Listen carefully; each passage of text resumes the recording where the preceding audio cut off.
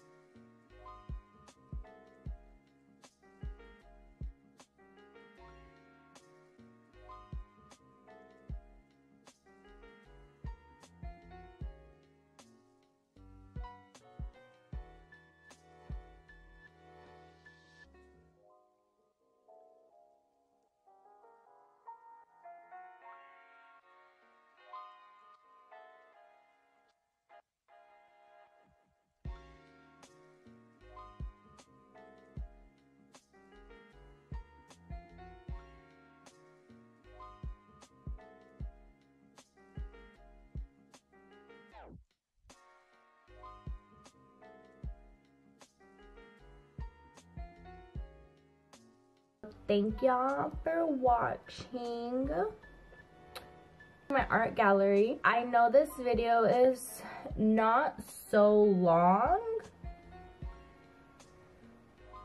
but like my art gallery wasn't big either. I do switch them out every so often. So if y'all want me to do another art gallery tour, I can definitely do that. Just leave a comment down below. I hope you enjoyed this video and see you in my next one. Bye.